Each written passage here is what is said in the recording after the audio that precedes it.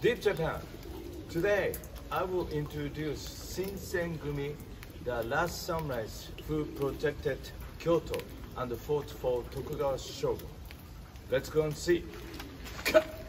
Before I show you the historic places relating Shinsengumi, I will talk a little about the history of them.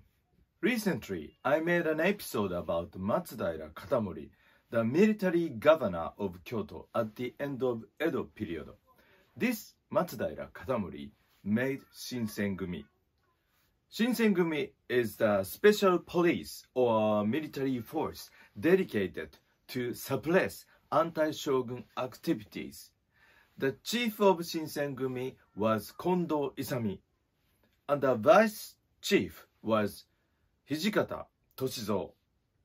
Both of them are famous Japanese historical heroes every Japanese knows because uh, their lives as samurai were so straight that they touch our hearts. Both Kondo Isami and Hijikata Toshizo were born in farmers' family in the suburb of Tokyo. They were not samurai class, but they learned the art of swordsmanship at dojo in their village because they had admired samurai since they were kids. But it was the impossible dream for farmers to be samurai in those days. But it was at the end of Edo period a big chance came to them.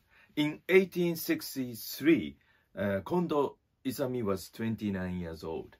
Edo Bakufu recruited the bodyguard of Shogun uh, who was planning a trip to Kyoto from Tokyo. If Kondo and Hijikata were hired, their lifetime dream came true.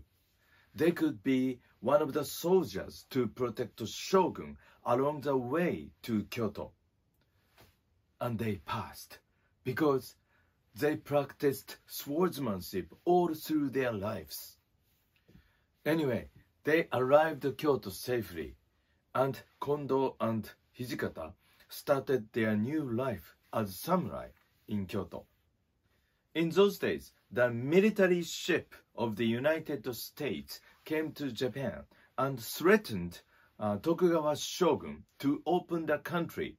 Uh, Tokugawa shogun had the isolation policy for 300 years. And Kyoto was very dangerous place because the emperor lived in Kyoto and there also lived so many rebel samurai from uh, Satsuma, Choshu, or Tosa, which are called Kagoshima, Yamaguchi, and Kochi now. They tried to overthrow Tokugawa shogun and make the new government of the emperor, not shogun. And Kyoto was the center of this dangerous situation. To make a long story short, Matsudaira Katamori made Shinsengumi to fight against anti-shogun samurais in Kyoto. And Shinsengumi consisted of 200 high-skilled swordsmen, and they killed many enemies, and they became famous in Kyoto. And the rules of Shinsengumi were all the more strict because Kondo became samurai from a farmer, I think. If a member of Shinsengumi did not follow Bushido, the samurai spirit, they had to commit seppuku, suicide. Kondo Isami tried to be pure and real samurai, I guess. In 1868, the civil war between Tokugawa shogunate and the new government broke out. Of course, Shinsengumi fought for Tokugawa's side in this final battle.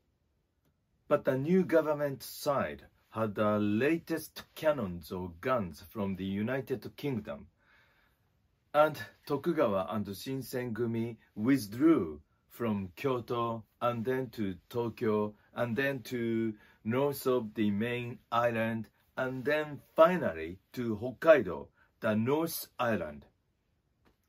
On this way, Kondo Isami was captured by the new government army and he was beheaded.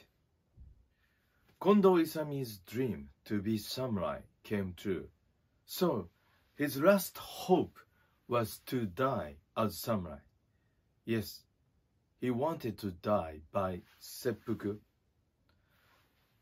But it was not allowed to do it. They just cut off his neck.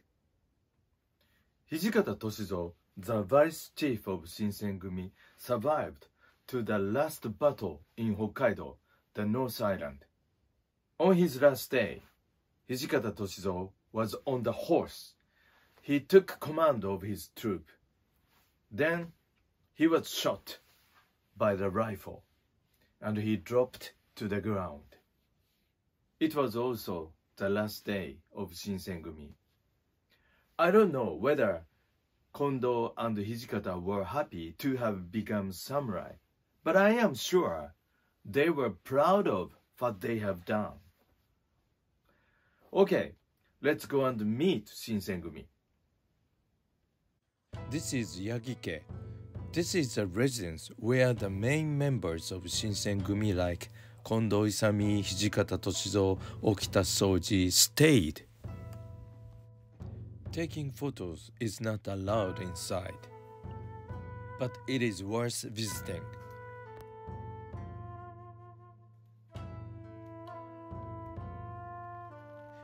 This is Maegawatei, another residence where Shinsengumi stayed. We cannot go inside because a family lives here.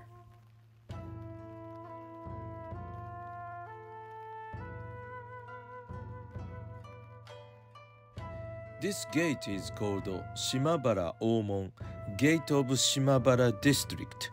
Shimabara was an entertainment quarter where the members of Shinsengumi often visited.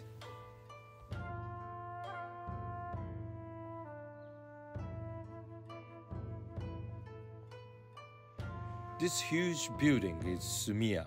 It was a large Japanese restaurant where they have a party or meeting.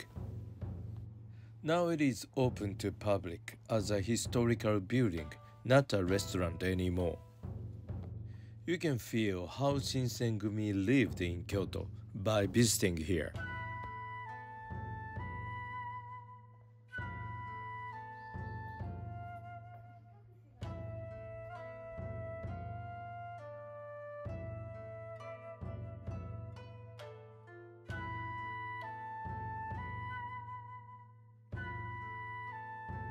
When they visited here, they had to deposit katana, sword.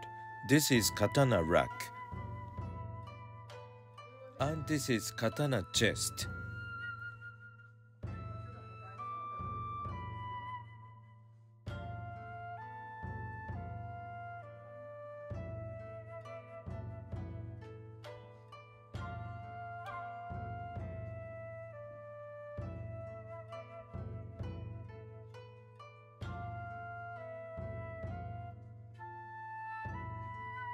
This huge room is called Matsunoma, the room of pine tree.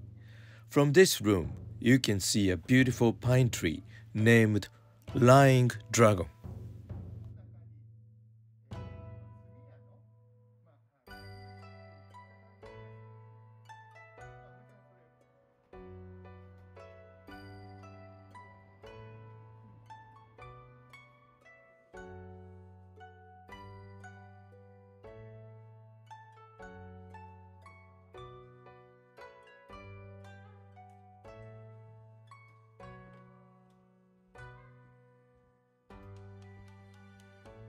This room is called Ajiro no Ma. You can see a Mount Fuji in the garden.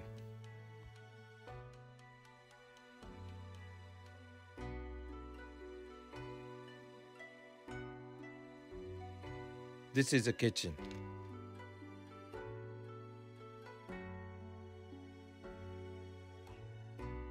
This is a pay desk. The second floor of this building is very artistic.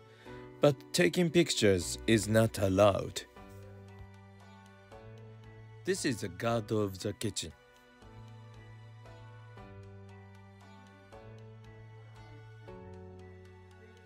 This damage was done by katana, the sword of Shinsengumi. Ikedaya is the most famous spot of Shinsengumi.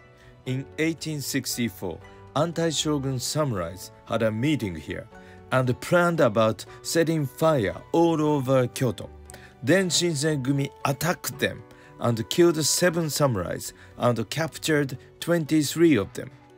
They saved Kyoto from massive fire. Now the new building is made here and used as a Japanese style pub where you can enjoy the atmosphere of Shinsengumi.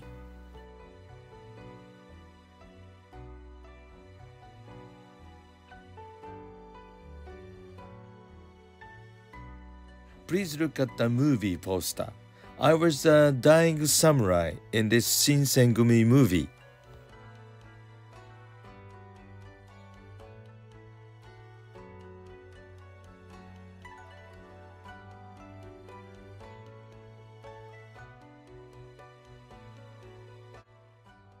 I drank sake here. This is Mibudera Temple, where Shinsengumi trained.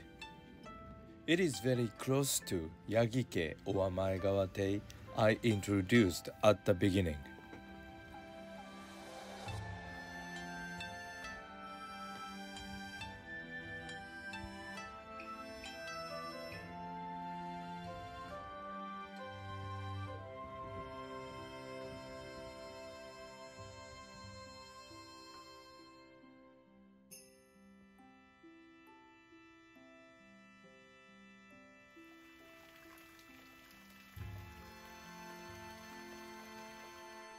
There is a gravesite of Shinsengumi.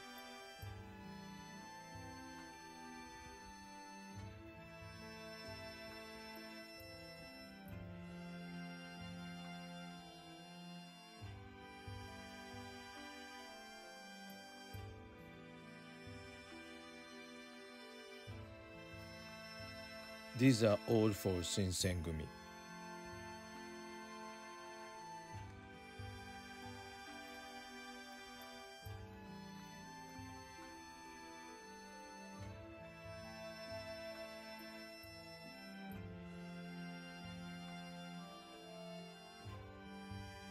This is a statue of Kondo Isami, the chief of Shinsengumi. He was a samurai of samurais. How did you like the story of Shinsengumi? I hope you like it. See you soon. Bye.